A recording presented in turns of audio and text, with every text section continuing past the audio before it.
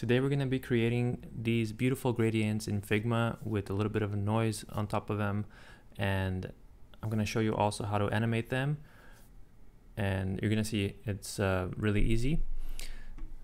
Um, let's jump right into it. So I'm going to bring these colors over into a new page over here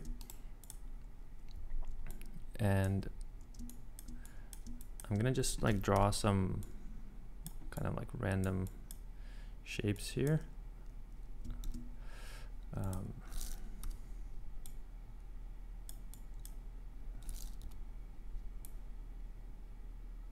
something like that. The cool thing about this is that you can be like really random with your shapes and it it will be just fine. Um, something like I'm saying like really really random stuff. So um, yeah, so let's make them all just gray for now.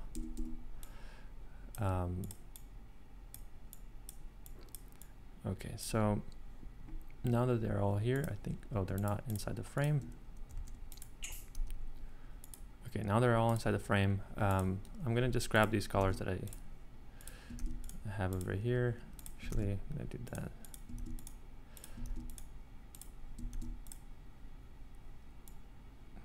right. I'll switch these two. And then the other thing you want to do is draw a rectangle on top of that frame. Change this color to, I usually just change it to white, but I think any color will do. 1% opacity here, and then make sure the opacity is on the fill and not on the layer.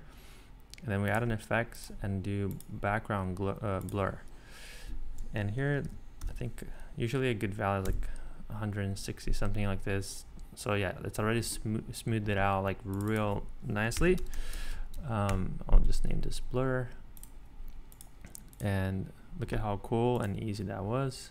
So let's just like name our layers here. So we got the orange uh, the next one is the red this one which one is this again? This is the pink and then this one was the blue.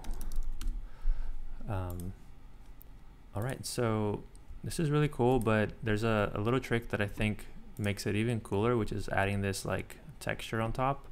So um, I'm gonna grab this layer here that says texture and bring it over. And that makes it like really nice. Um, I love this like grain effect here.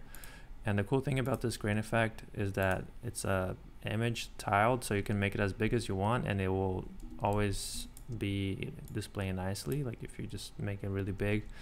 Um, and also the other cool thing is that you can kind of change the how coarse they are. You can go like maybe like 40 and you see how like it's more like noisy which is really cool. And this I grabbed this uh, effect I grabbed from the community uh, it's like the gradient bloops by Benedict. Um, so I'll put the link of for this in the description as well. Um, and that's basically it. And then the cool thing about this is that if you have to edit the colors of the gradient here um, it's pretty easy. So um, let me move the video. Um, so basically here now we have the the gradient color. So if let's say if I just wanted to change this to um, this blue um, wait yeah so if I wanted to change this that to that dark blue um, let's say this all change to the darker red this one the lighter red and the pink let's do the darker blue. Um, and then here I can just kind of I'll lock these so I can just control the blobs over here and it's really nice I can just move them um, and the other cool thing is that you can kind of play with the opacity. By the way, if you hit the numbers on your keyboard, it will change the opacity.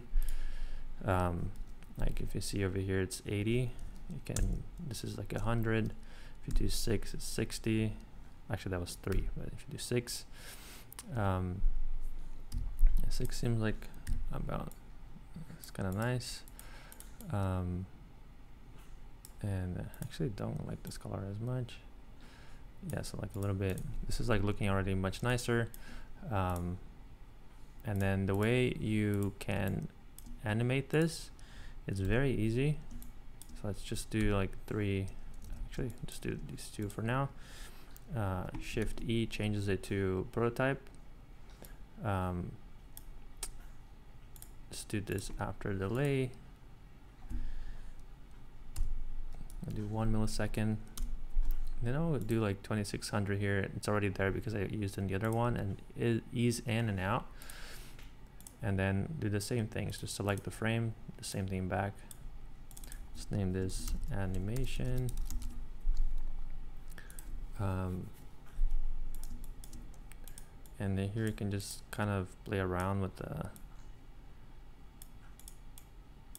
thing. You can kind of maybe change the opacity this um, and move things around here. And so let's maybe do another one. This one actually should go back to this one and this gradient 2 should go to this one. Uh, I didn't have to really redo this because actually I do need to do on delay I forgot to do on the second one. But basically it copied all the prop the animation properties from the the frame that I duplicated it from. One millisecond 2600 smart animate ease in and out. Uh, and this should work let's see. Well it got so dark now. All right. And it's working. Oh I see that the oh I guess it just took a second for the for the noise to kick in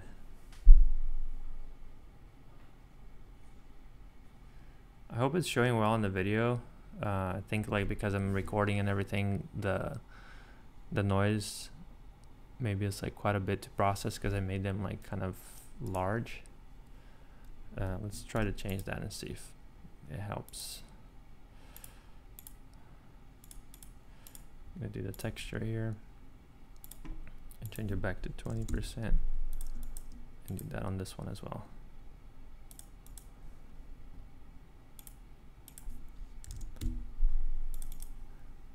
And then hopefully we'll play a little bit better. Yeah, it's still playing nicely. I hope that the, the noise is also translating well in the video. Um, but yeah, this is how you create the, these really nice gradients in Figma and how you animate them with Smart Animate. Um, let me know if you found this helpful or if you have any questions and uh, I'll see you in the next one. Thanks.